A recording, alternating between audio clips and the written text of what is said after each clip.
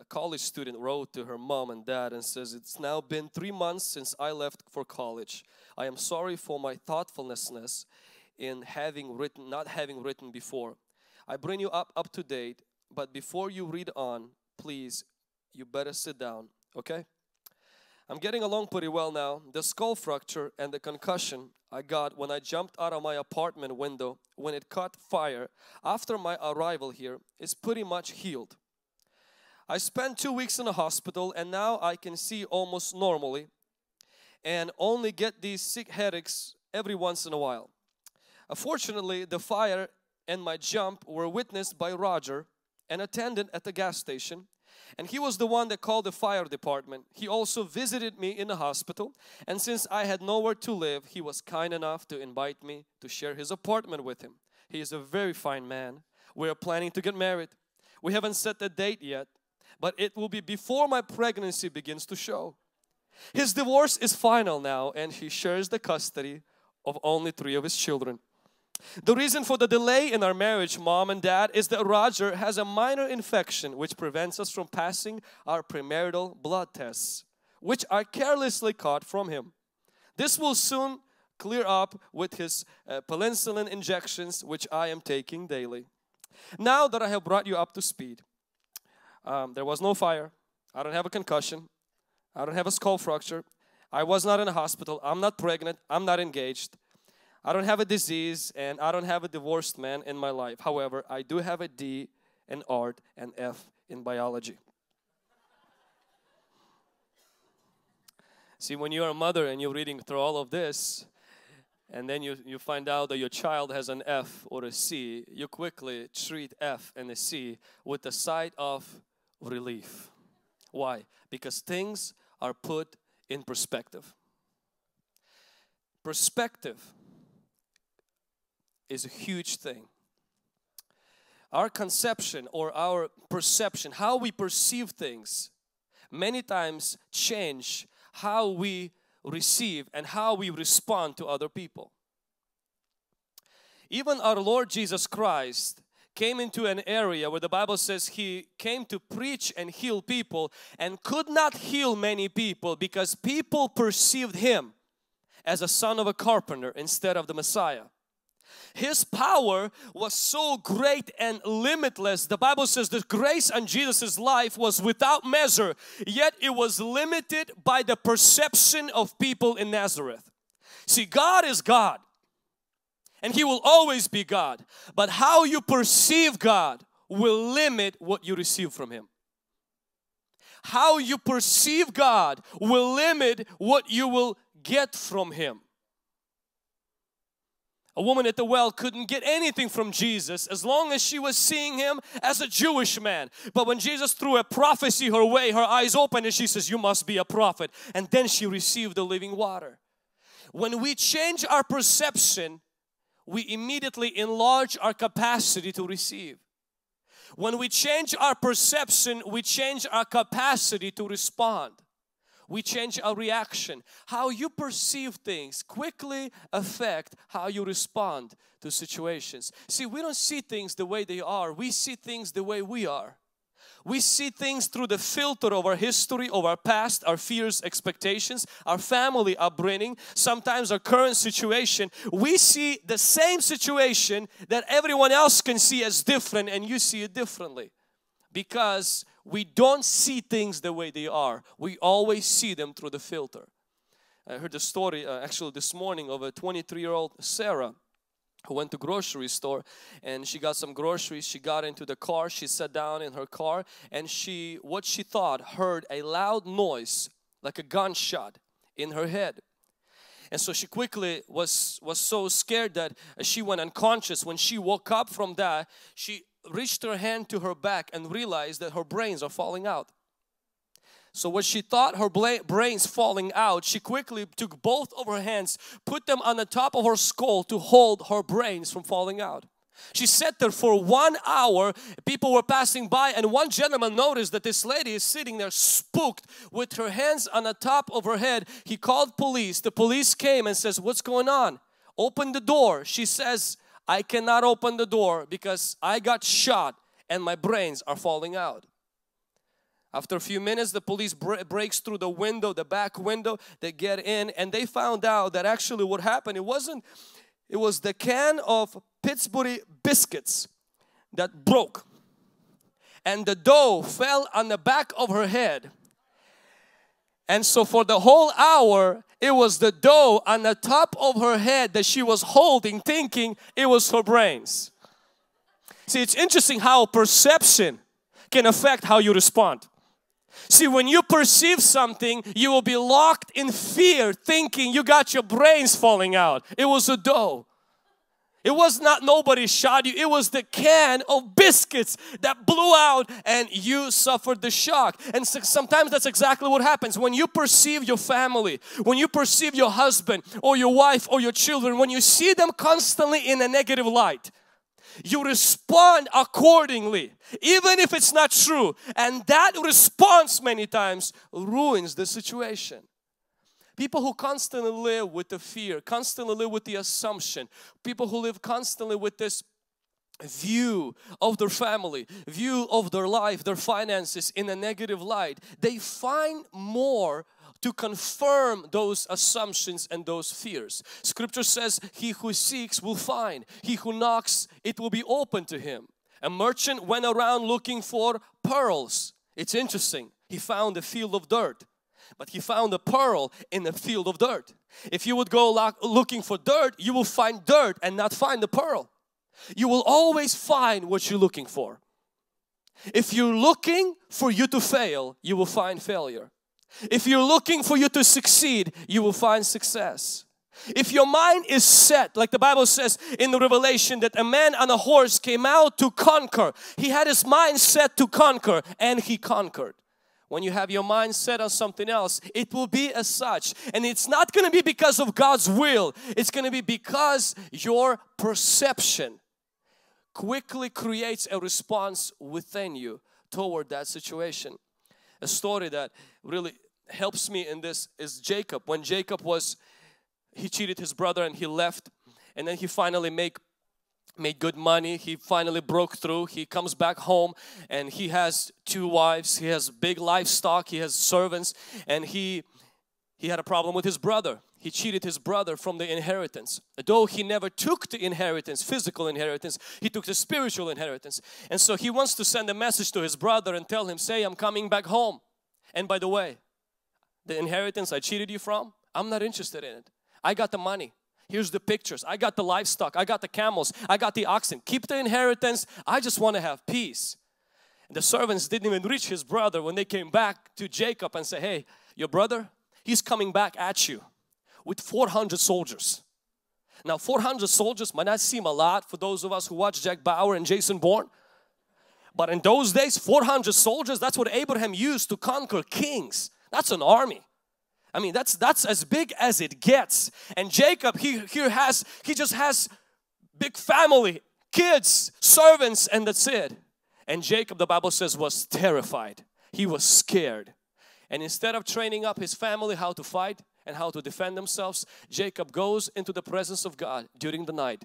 And the Bible says he wrestles with God. It's interesting because all his life he wrestled. He wrestled with his brother, he wrestled with Laban, he wrestled for his wives, he wrestled for his wages, and now Jacob, you would think that his relationship with God would be easy, but now he has to wrestle with the relationship with God. But this was the only wrestling that changed the rest of his life. See, sometimes we are waiting to have a perfect relationship with God, and we think if I have a smooth relationship with God, only then God will bless me. And if maybe you're like Jacob today, you wrestle in everything in life, nothing in your life comes easy. For other people, it looks like things just come so easy. For you, you gotta fight, fight. You take one step forward, two steps backwards, and you come to God, you come to church, and you say, even with God, it's so hard. This is the only wrestling worth wrestling because this struggle, this wrestling changes everything else in our life. It changed for Jacob and I believe even this year it's going to change for you. When Jacob is there wrestling with God, wrestling with God, wrestling with God, God changes his perception. First of Jacob, God changes Jacob. And next day, when Jacob gets out to meet Esau, the verse there says this Jacob looks at him And Esau doesn't shot, doesn't shoot. Esau doesn't throw a spear. Esau doesn't kill. Esau runs and hugs him. And this is what Jacob says. When I saw you, I saw the face of God. Before I met God, you were my enemy. When I met God, God changed my perception. I no longer saw you through my fear and through my past mistakes. I saw you as the face of God. See, when you see God, you begin to see through the face of God at everything else. Everything begins to look differently and it's interesting. Supernaturally, God takes those circumstances and begins to change them in your favor. Esau, who came to kill, was hugging. Because in the presence of God, Jacob's perception of Esau was changed. God wants to change your perception, my perception of people who cause you pain. People who are out to get you. People who are out to hurt you. Your family members who got the guns loaded maybe, who constantly when you come in bring this or that topic, things are always stirred up and you're saying there's just no way this fight in my family, it's been going on. For Jacob, it's been 20 years since this, this tension in the family, but it was resolved not by Jacob doing anything different, but by getting to the presence of God and saying, God, I am scared like hell of this my brother. And God changed something him me both of us and God says let me change you Jacob your perception of you and let me show you my face. When he sees the face of God he goes in he no longer sees the brother he cheated. The Bible says he saw the face of God and his brother no longer hurt him he hugged him we all want hugs in our family their motto is no drugs just hugs We don't want hurts. We don't want fights. You don't want your father to call you with a negative name. You don't want your children to disrespect you. You don't want your spouse to sleep in the other room. You don't want your spouse to, to, to cheat, to, to, to do these harmful maybe habits like drinking and smoking. We want to see changes in our family. But I want to tell you something today. You have to find a place in prayer where you allow the Holy Spirit to do a deep work not just on the troubling part of your family but on the troubling part of your mind about your family and begins to bring rip off the wrong images rip off the preconceived ideas already and that we see God so close that when we come out we see differently than we saw before we walk different. The Bible says Jacob, he started to limp. Something happens in a relationship with God. Something happens in prayer. Our perception changes. And a result, as a result, it begins to affect our spouse, our children, begins to affect our family. I'm not here to tell you that if you meet the presence of God, immediately your family will be changed. What I am saying, they will be affected something will be different in the atmosphere in the house. Something will be different in the tone of your voice. There will be fearlessness. There will be brave bravery inside of your attitude that will cause them to be disarmed and cause them to be nice. Amen. This will be the year where God wants to touch our family. Let this be the year where God wants to bring our family together. But it cannot happen without His presence changing and affecting our perception. Can somebody say amen? If you have your Bible, let's open to 1 Samuel chapter 31 verse 13. 1 Samuel 31 and verse 13. Then they took their bones and buried them under Talamark, taram, tamarisk tree, under a tree at Jabesh and fasted seven days. And that's how the first Samuel, the book of first Samuel comes to a conclusion. And the next verse is the second Samuel which begins the new dynasty, a new family, a family of David. How the first book of Samuel ends is Saul gets defeated and the Philistines not only they kill him but they want to mock the nation of Israel. They took the corpse the dead body of Saul and they hanged it on the wall. You know, typically we hang things on the wall to remind us of how good our life is. We hang um, certificates we put family pictures if you have an award maybe you want at work maybe you have you have a certain uh, trophy and what we do is we we put them on the top in our wall so that when we walk we see and we get reminded that was a good year that reminds me of college. That reminds me that I have a bachelor's degree. That reminds me that, you know, I won that race or I won that competition. And here the enemy puts a king's body that is dead on the wall to remind them we won. And at the same time to send a message to Israel you're losers, you lost. But there were men, they were farmers. They woke up during the night. Saul helped them before. They marched, they climbed on that wall. They took that corpse down. They buried that corpse and the scripture says, and they fasted seven days. It's interesting. And there and then, at the end of that fast, the Bible closes a chapter in Israel's history that wasn't a good chapter and opens a new chapter in their history of the greatest king that took the throne, the King David. I believe God wants to change our life. But changing in a calendar, it's fine, we can, we don't have to. Changing in a calendar doesn't change our life. Only God can change our life. Amen. Cal calendar doesn't change it. The creator changes life.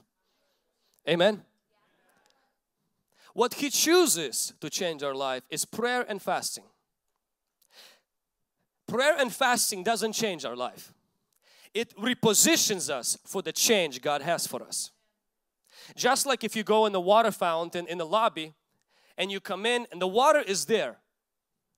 And what you do is you don't move the water fountain as you stand over there. You don't take water fountain like this, you lift it up and let the water come into your mouth. No, you move your head, you twist your body, you reposition yourself so that the water fountain will not miss your mouth.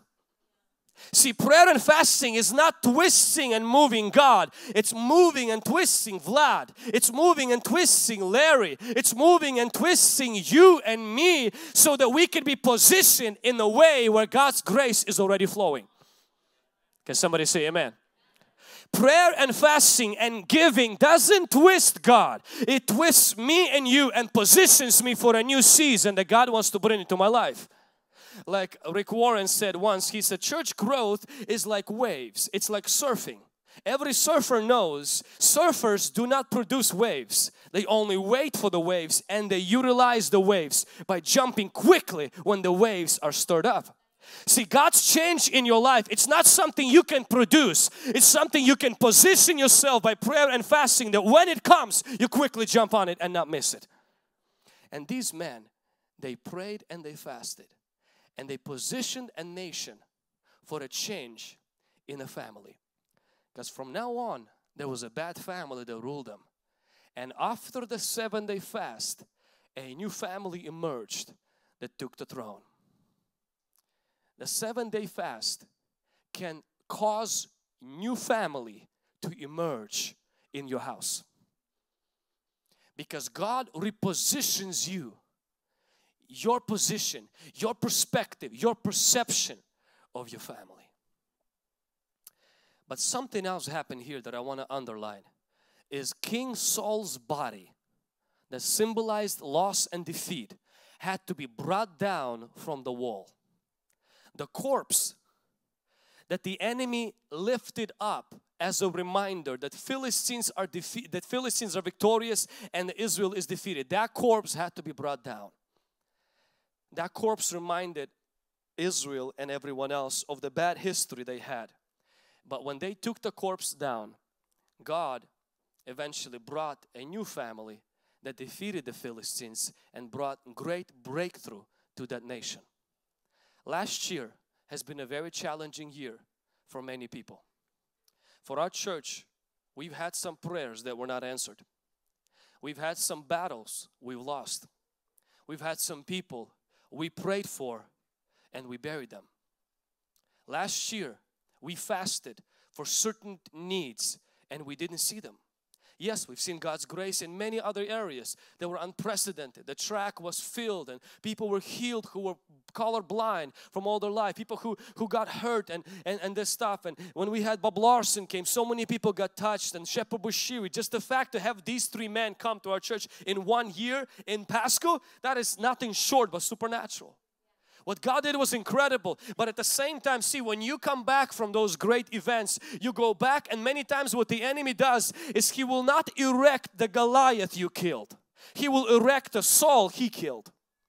The enemy is sneaky. He loves to exalt the corpses and hang them on the wall of our memory, on the wall of our mind, and to tell you through that, I won, you lost so that the memory we will have for the future is the past losses, the past divorce, the past maybe death in the family, the past sickness, the past bankruptcy. He likes to lift the soul and say, Look at him now. And during this prayer, during this day, and during this season, I am not here to tell you this is going to be the greatest year of your life. I'm not going to tell you that because I don't want you on 31st of December to hunt me down and say, You said it. I had some people text me yesterday. You have one day to explain to me how you told me this will be the greatest year of my life. I said Israel had also 40 years to explain to God while they were complaining, whining, and they died in wilderness instead of going to the promised land. I'm like, ain't my fault that you're living in sin. Anyway, that's besides the point. I did not promise anybody 2016 will be the greatest year of your life. It will be as great as you make it and as your relationship with God will make it. Period. You can have the greatest prophet come on the earth and prophesy until he loses his voice, but it's not going to change anything in, until you move a finger to begin to work with God to see changes in your life. Can somebody say amen?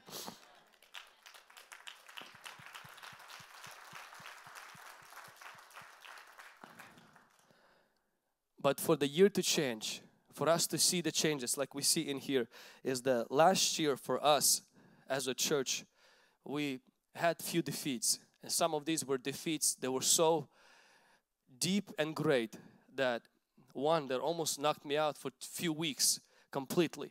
And my faith was deeply deeply shaken because the things I prayed for the things I believed for in that particular uh, situation things were not answered.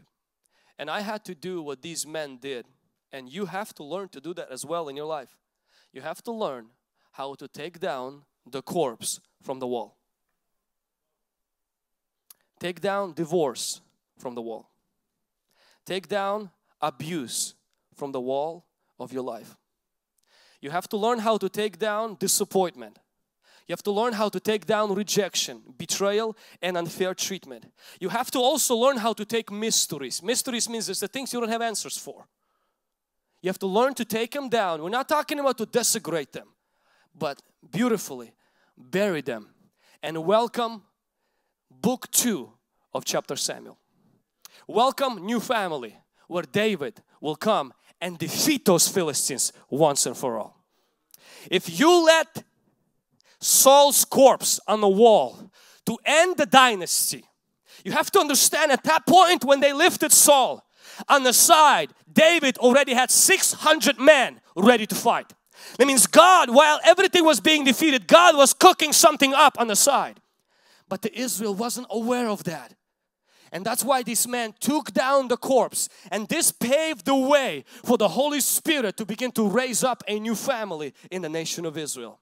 I believe that if we've seen people who maybe died out of cancer, that should not paint an image in our mind that people will not get healed of cancer.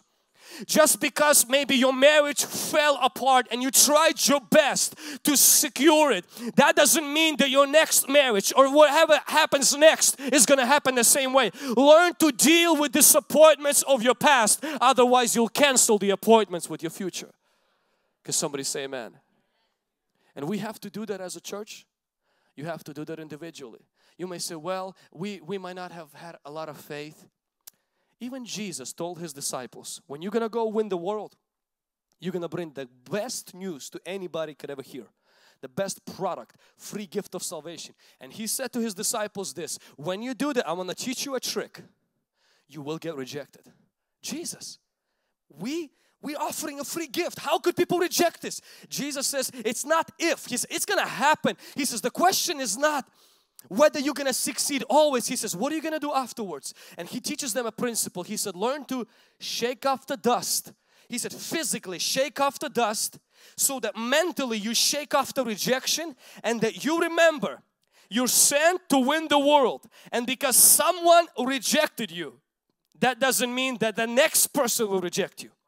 If you will let this person to reject you and you will say, I will no longer do it again, he says you will get stuck. But if you shake off the dust and go to the next person, he said the next person will accept you and the next person is going to bring glory to God. If that happens with winning the lost, that also happens with winning money. That also happens with winning your family. That also happens with winning battle with drugs. That also happens with winning battle against cigarettes. That also happens with winning battle against pornography. That also happens, if it happens with winning the lost, which is the greatest miracle, it happens with smaller miracles too, where sometimes you lose. And you have to learn not to find an explanation, you have to learn to quickly and step into a new chapter of your life. Why? Because Jesus said, He didn't say find an answer. He said find to get the dirt off of your shoes so you can step into something new. Just because last year was very difficult for you financially, you have to learn to step into a new season. You gotta remove the dirt from the old season. You tell that to your children all the time.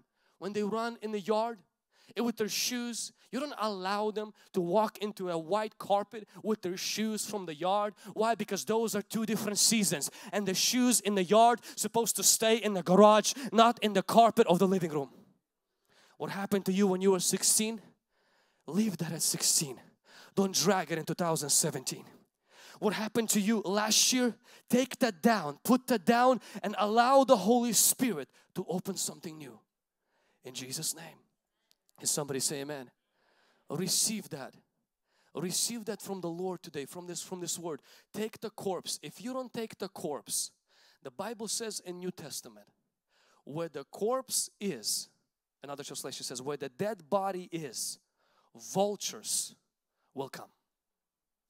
When you allow things from the past to be nurtured here, you attract demons to attack your life. Some people are driving out the vultures but still keeping the corpse. You can have every pastor who comes in through hungry generation take his spiritual rifle shoot out those demons but if after the service is over you are refusing to bury the corpse it's until next service the vultures will come again it's as important to drive away the vultures as it is to learn. It's very heavy to bury the corpse, to put it down and say, you know what? That part of my life was done that part of my life, as painful as it was, I leave that behind me. I look forward to the future. I refuse to be like Lot's wife, whose feet were walking into the future, but heart was trapped in the past. And she was not people of salt. She became a monument of salt, a pillar of salt, not moving anywhere, stuck. People who look back while trying to walk forward always become pillars instead of people. Be a person who disconnects yourself from that. Every New Year, we used to have a lot of New Year services because it falls on Saturday night. We didn't do one this year. And in my youthful years, I would bring a coffin. I brought a, casket here uh, so many times that uh, that I became known for that. So I stopped doing that. What happens in New Year's, I would bring I would bring a coffin to the church. We had a very young church, and so we didn't have much funerals. The only funerals we had was artificials is the ones that I would create for people. It was a mental funeral that I had for them. It was called the funeral of the year where we would have people write down the bad things that happened during the year and symbolically come and place it into the casket. We would close the casket, take the papers out of the casket, go outside and burn that as a symbol of disconnecting ourselves with our past. You have to do that not only every year, you have to do that every time you hit a disappointment. You have to learn to do a funeral, a proper grieving, a proper crying, a proper going through that, closing that in, putting and putting the thing over it and saying, you know what? My life has to move forward. My life has to move on to the chapter 2 of Samuel. Can somebody say amen? You have to move forward in Jesus' mighty name. As we approach right now a time that we're gonna pray for the family, I ask you for one thing is that we will take an opportunity first of all for last year. Any corpses that we have in our heart, a corpse can be a sin that we harbor, that we keep in our lives, that we get rid of it right now. Not, not wait for the fast tomorrow, but that we do it today. That we allow all the sins that we have accumulated in our life that we are carrying.